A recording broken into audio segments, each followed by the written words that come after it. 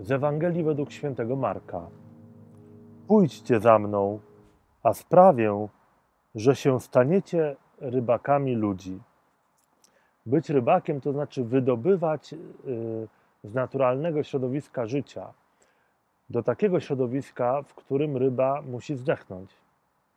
Kiedy więc jesteś rybakiem ludzi, to znaczy, że masz ich wydobywać z naturalnego środowiska, jakim jest grzech, ku środowisku, w którym umrą z braku grzechu, stracą życie ziemskie, stracą życie wypełnione e, kłamstwem i pustotą, po to, by zyskali życie, które jest oddechem Jezusa. Tylko Jezus może zwrócić życie temu, kto swoje życie utracił. E, nie jesteśmy śniętymi rybami, wydobytymi z oceanu e, złego ducha.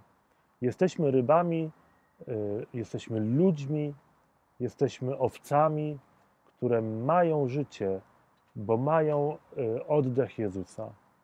Do zobaczenia jutro.